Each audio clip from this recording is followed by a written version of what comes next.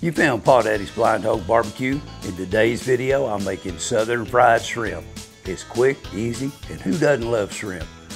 This is batter fried shrimp. You're gonna love this recipe.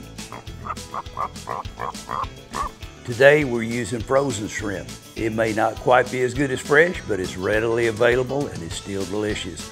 Fresh shrimp isn't available everywhere, but frozen shrimp is even sold in desert communities. For our ingredients, I'm using one pound of frozen peeled deveined shrimp that has the tail off, one cup of flour, a quarter teaspoon each of onion and garlic powder, a half teaspoon of sugar, a half teaspoon each of salt and white pepper, one cup of chilled ice water, one egg that's beaten, Louisiana hot sauce, and the cooking oil of your choice.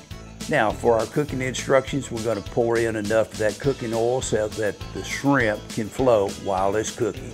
Heat that oil to 375 degrees. Between 350 and 400 is perfect. I'm frying one pound of shrimp today, but the batter recipe may be enough for two pounds. The shrimp should be defrosted and dried with paper towels. Now pour a very generous amount of that Louisiana hot sauce onto your shrimp and get them coated on both sides.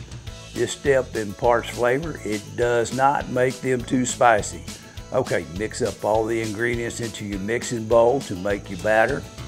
I started with enough ice water that I could pour up one cup of the chilled water without the ice. Now, you must not put ice into your hot oil. Pour all your shrimp into the batter and mix them up and then drop them into the fryer and batch it. I like to just go ahead and fry them in clumps. It saves time.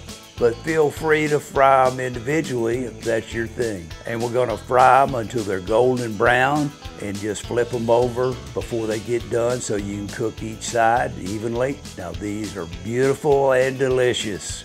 Batter fried shrimp has been a favorite in my family for many years. Your family's sure to love them too.